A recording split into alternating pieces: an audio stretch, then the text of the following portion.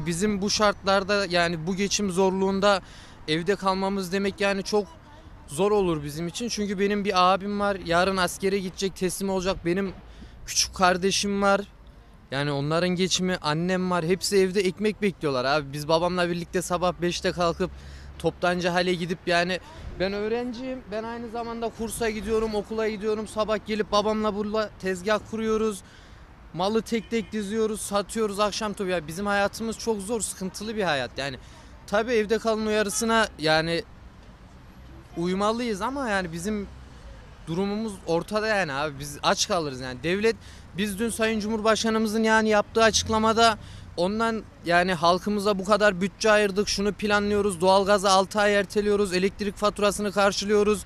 Şu kadar bir bütçe vereceğiz her aileye paketini beklerken yani onun bu engelleri duayla aşacağız demesi yani bizi gerçekten sarstı biraz yani. Yani ne yapalım abi yani biz dua benim annem de dua ediyor ben de dua ediyorum ama yani durumumuz ortada. Çok merak ediyorum yani o masada 10 tane bakan vardı. Yani o masaya bir simitçi, bir çaycı, bir börekçi koysaydınız 3 kişi yani bu durumu düşünürdü. Hani şu kadar iş şu halk ne olacak? Sokağa çıkmayası tamam da halk ne olacak? Bu laf geçmiyor mu o kadar bakanın arasında?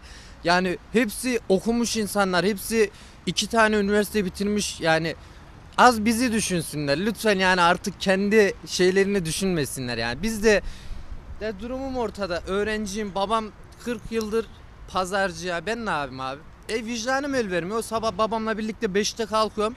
8'de kursuma gidiyorum. Öğlen geri buraya geliyorum. Akşama kadar mal satıyorum. Malımı toplayıp eve gidiyorum ya. Ben ne yapayım abi? Ya ben ne yapayım?